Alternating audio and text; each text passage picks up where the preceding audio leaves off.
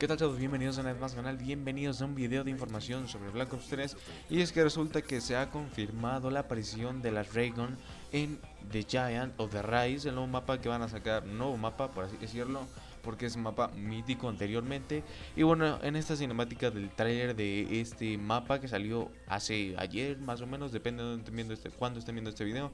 podemos ver en una de las imágenes un fotograma del trailer que se ve a los cuatro personajes disparando en grupo y vemos también a Nikolai sosteniendo lo que sería y disparando la Raygun y esto nos confirma totalmente que la Raygun va a estar disponible en los zombies de Black Ops 3, una duda que varias gente tenía, varias personas tenían es que si va a haber armas míticas eh, que van a volver a salir en el, en el juego. Y bueno, aquí tenemos las armas más míticas de todos zombies, que es la Reagan o arma de rayos. Y también tenemos lo que sería la Wonder Waffle, que fue también arma de rayos que va a estar en el Black Ops 3 Zombies. Ese ha sido el video de hoy, espero que les haya gustado, es bastante corto, un minuto, pero solamente es para darles la noticia de esta arma. Se bueno, no se filtró, nos las enseñaron un poco escondida, dura muy poca la escena, así que espero que les haya gustado, compartan el video, suscríbete al canal